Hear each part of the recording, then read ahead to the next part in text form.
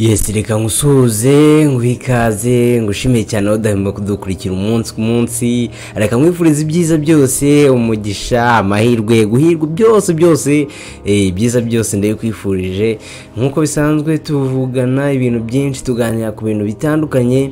Uyu munsi ndashaka kukubwira ibintu utari uzi. Eh, ndashaka kukubwira byanze bikunze hari igice cy'umubiri wawe ukunda koga. Icyo gice rero uheraho iyo uri koga gisobanuye byinshi. Uyu munsi ndashaka kukubwira ese igice cy'umubiri wawe uheraho woga gisobanuye iki? Niba koko uri ikiremwamuntu ukunda kugira isuku ukunda gukaraba eee ni ingenzi cyane. Kandi wubaha umubiri wawe urawukunda mbese ibyo byose ukora ku mubiri wawe hari byinshi bisobanuye.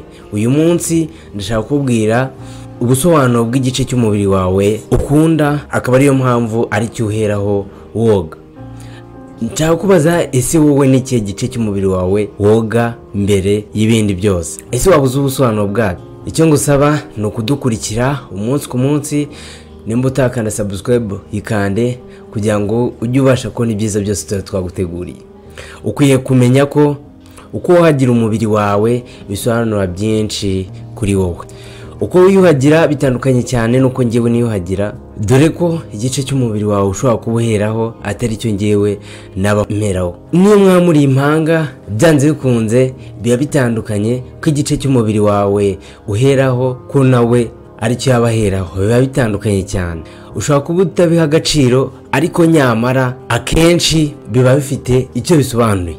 Ibi ngibi bikorwa nta mahitamo umuntu yabigizemo ndetse ntabwo umuntu aba yabitekerejeho.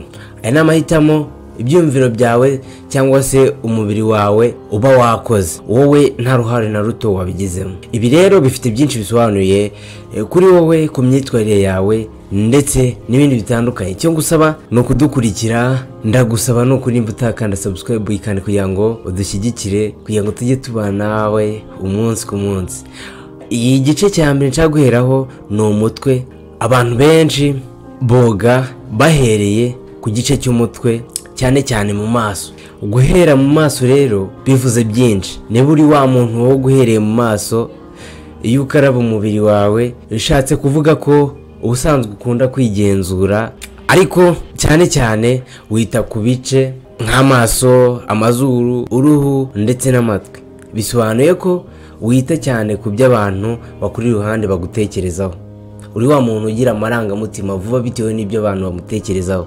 Ibyo bigate- bigatera niyo mpamvu iteka wumva wamenya neza niba amaso yawe hameze neza cyangwa se ku mutwe wawe hameze neza mbese cya gice kigaragarira abantu cyane nko mu maso ukaba wagenzura ko cyaba kimeze neza. Si ibyo gusa kandi kuko umuntu woga mu maso bigaragaza ko wite cyane ku byo abantu bashobora kukuvugaho uwo ni umuntu woga ahereye mu maso. Ikindi gice abantu benshi eh, boga bahereyeho gishobora kuba gitandukanye n'icyo ngemeraho ariko nyamara wowe ushobora kuba ugiheraho. Ni amaboko n'amaguru. Abantu benshi hari abajya koga bagahera ku maboko ndetse n'amaguru. Ibyo bigaragaza ko nimba uhera ku maboko cyangwa amaguru bisobanuye ko utuje cyane mbese uroroheje. Guhera kuri ibyo bice byombi bigaragaza ko uri umunyembaraga eh, cyane cyane uri umuntu uzi kwigira. Si ibyo gusa kandi dore ko bisobanuye ko ukunda ku ivuko ndetse uri wa muntu wumva utahava. Mbese uri wa muntu wumva watura ku ivuko igihe cyose. Uri wa muntu ukunda kwigaragaza ndetse uri wa muntu udashobora guhisha ikintu kimurimo cyangwa se udashobora guhisha impano imurimo. Iyo ugiye kwifotoza uba wumva ibyo bice wabigaragaza neza. Mbese uri wa muntu uba wumva ibice bye cyane cyane amaguru ndetse n'amaboko byagaragara cyane eh, mu mafoto. Iki kindi gice cyo kirihariye. Iki ni igice eh, cyihariye. Biragoye. Biba gakeya cyane. Biba no ku bantu bakeya ko babikora. Iki ni igice cy'ibanga cyangwa se mu myanya y'ibanga. Biratangaje ko hari umuntu uhera kuri ibi bice by'ibanga ariko nanone bibaho. Bibaho ko waba uri mu bwogero ukaba wahera kuri ibi bice by'ibanga. Hari ubwo uba utekereza ngibaze hagize umbona. Akenshi abantu bahera kuri ibi bice by'ibanga baba bari gutekereza cyane baba batekereza ku bantu bashobora kubabona muri ako kanya. Ubusanzwe usanga uri wa muntu ugira isoni cyane ukunda gufata amarangamutima yawe cyane. Akenshi hari n'ubwo wiburira icyizere. Uri wa muntu udahagarara ngo wirwanirire uri wa muntu witinya gusa nanone uri wa muntu uzi gushimisha abantu bari mu ruhame. Abo ni abantu boga bahereye ku gice cy'ibanga. Umuntu woga ahereye ku gituza. Bisobanuye ko wigirira icyizere cyane ukunda umubiri wawe cyane ntabwo ukunda gutinda mu magambo. Uri wa muntu uvuga makeya uvuga vuba kandi uba weruye ku buryo umuntu ashobora kumva mesaje utanze utarinze kuvuga mu magambo menshi. Urigenga kandi abantu benshi bakwigiraho. Urakora cyane kugira ngo ugere ku byo wifuza. Uwo ni umuntu woga ahereye ku gituza. Undi muntu tugezeho ni umuntu woga ahereye ku musatsi. Niba ukunda guhera ku musatsi cyane cyane iyo uri mu bwogero bisobanuye ko ubusanzwe ukunda kwambara ibintu bimeze neza. Uri wa muntu ukunda kurimba. Ugira ikinyabupfura ugira ibitekerezo bihamye cyane kandi ushyira mu ngiro ibyo wateguye.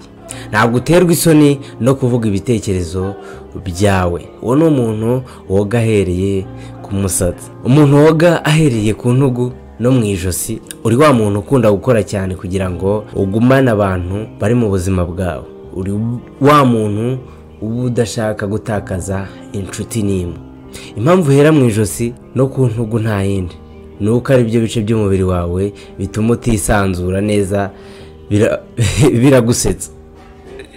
Ukunda guhangana cyane. Uri wa muntu uharanira kugera ku cyo ashaka kugeraho. Uri wa muntu uba ufite intego mu buzima kandi byanze bikunze bikarangira zigezeho. Undi muntu ni umuntu woga ahereye mu mugongo. Akenshi ntabwo abantu benshi bakunda koga bahereye mu mugongo ariko hari n'abandi boga bahereye mu mugongo. Uri wa muntu uzi kwiyitaho cyane ntabwo bikorohera kwizera abantu. Ntabwo wemerera abandi bantu kuza mu buzima bwawe biboroheye. Kubera ko wigeze ubabazwa. Reka ngushimire ngushimire wowe twabanye reka ngushimire wowe tubana umunsi ku munsi. Uri umuntu w'ingenzi reka ngushishikarize gukanda sabusikarayibu nawe nimba utarayikanda. Ya like komenti na sheya ni ingenzi kuri twebwe. Ya amahoro imigisha bikomeze kubana namwe.